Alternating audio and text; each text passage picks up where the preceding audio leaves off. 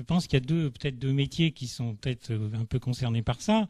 c'est celui du paysagiste et celui de l'éclairagiste, puisque l'urbaniste, lui, va concevoir globalement le projet, il va essayer de trouver les liens avec la ville, mais moi j'ai vu des projets où on a fait venir le, paysagiste ou l'éclairagiste justement. Alors évidemment, vous allez me dire c'est pas votre cas, mais on l'a fait venir avec ce souci euh, d'y apporter, je sais pas comment on pourrait appeler ça, le, supplément d'âme, euh, le, côté qui va un peu euh, valoriser un espace où finalement, voilà. Alors je voudrais connaître peut-être votre point de vue autour de ça. Peut-être commencer par le paysagiste et puis après passera la parole à l'éclairagiste. Donc, Monsieur Thibault de Metz.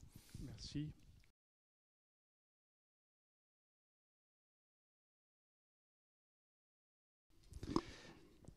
Euh, je, sur l'espace, euh, je reviens un petit peu sur le, sujet de l'espace public euh, heureux où, évidemment je viens ici avec le sourire aux lèvres. C'est très agréable de se dire qu'on va parler de, de, ce sujet-là. Je, j'ai envie de, enfin, euh, c'est une personnification en fait de, l'espace public et donc d'une œuvre. J'ai envie d'inverser un peu le, on pourrait inverser le titre, euh, l'espace public qui rend heureux. Et, donc à ce moment-là, l'espace public qui rend heureux, ça devient euh, ça devient un projet politique ou ça devient une ambition de société, de se dire comment est-ce que comment est-ce qu'un espace euh, peut euh, rendre les gens heureux. Je, je, reviendrai un peu sur la notion de, sur, la notion de, peut-être la notion de programme ou la notion de cahier des charges ou de programme. Dans les cahiers des charges, euh, dans les cahiers des charges, on, veut du bonheur évidemment partout. Dans les programmes après, les programmes qu'on nous confie nous, c'est-à-dire qu'à un moment on, arrive à un moment où, il y a déjà eu euh, un temps d'échange sur euh, ces espaces, ces espaces publics, ces espaces urbains.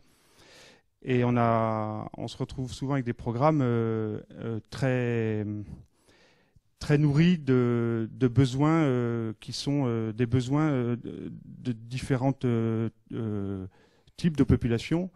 Et, et on a, on a qui, peuvent parfois conduire à, au lieu d'avoir des espaces publics partagés, de conduire à, à, un partage en fait de l'espace et, un découpage, euh, un découpage en fonction des, demandes des uns des autres, chacun exprimant en fait ce qui, ce ce qui, le rend, ce qui le rend heureux, ce qui, ce qui le rendrait heureux, ce qu'il imagine le, le, rendant heureux. Et, il me semble que dans nos, dans nos, dans nos métiers ou dans la façon sans doute de, de, de prendre ces programmes et d'essayer de les traduire spatialement, euh, ce qu'on essaye de faire euh, souvent, c'est de rendre ces espaces capables, en fait. C'est-à-dire que, euh, au lieu de, les rendre capables d'accueillir ou de, mettre en relation ou d'accueillir les différents, les, différents, euh, besoins en fait qui, s'expriment dans les, dans, les, dans les programmes. Il y a une autre notion je pense qu'il faut aussi rendre ces espaces capables de, de, de ne pas mettre euh, euh, les, les, gens qui pratiquent cet espace public euh, en situation d'acteur. C'est-à-dire qu'on on, aime aussi parfois être spectateur dans l'espace public, on aime être seul, on, est d'ailleurs assez souvent seul dans l'espace public puisqu'on passe d'un espace domestique à un espace de travail ou d'autres choses. Donc on est, on, a, on est on n'a pas forcément euh, besoin d'être euh, sollicité, forcément. On peut avoir euh, sa, vie intérieure qui est heureuse ou pas heureuse, je ne sais pas. Et, je, serais assez. enfin, je, pense que le, projet qu'on développe à, partir de ces, de ces programmes-là, c'est plutôt des projets de de mise en relation des différentes composantes euh, de la ville. La, valorisation évidemment euh, commerciale, parce que c'est un des sujets qu'on a tout le temps dans l'espace public, euh, la valorisation des, grands éléments de paysage quand on en a, des équipements, etc. C'est cette mise en relation qui sans doute fait la qualité des espaces publics. D'accord, oui.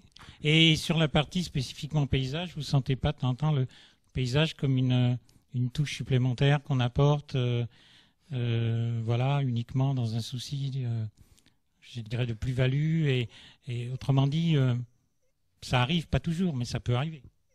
bah, si à travers le paysage vous pensez à, à, au, je au pense, côté végétal, Voilà, euh, voilà. au côté euh, végétal, euh, vous savez, euh, euh, les, les- Je sais que c'est pas que ça, hein, mais a oui, bien sûr, le, la, la- la question du végétal, pr- précisément, la question du végétal est, est- est pas une question simple dans les dans le traitement d'espace public. Euh, la, question, le- la question du végétal, la question de l'eau, euh, donc euh, l'eau, on aime l'eau, mais on fait des fontaines sèches, je crois. euh, on aime les, les, les arbres, on fait des arbres sans feuilles, on fait des, enfin, etc. On- donc euh, on, on- on a toujours, euh, on, a toujours- on fait des bancs sans dossier, je crois. Enfin, on, essaye de faire des, on, veut quelque chose et on fait des jeux pour enfants avec des grilles autour, je crois, parce qu'il ne faut pas que les enfants s'échappent. Enfin, et on fait des voitures aussi. on a des programmes des le, paysagiste euh, trouvera la façon d'intégrer de façon paysagère les 30 places de stationnement de surface. Donc on dit oui, on va intégrer. euh, on, a, toujours cette espèce de demande euh, un peu un peu compliquée sur le sur le végétal lui-même.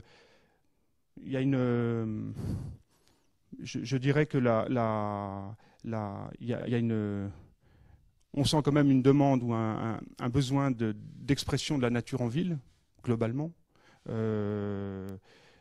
Mais c'est pas c'est pas forcément euh, euh, c'est pas forcément un, c'est pas forcément un gage de réussite absolue quoi. C'est-à-dire que c'est euh, euh, une place, on va dire une place jardin. On, fait des places jardin, on adore faire une place jardin. Une place jardin, ce n'est pas un lieu de manifestation, par exemple.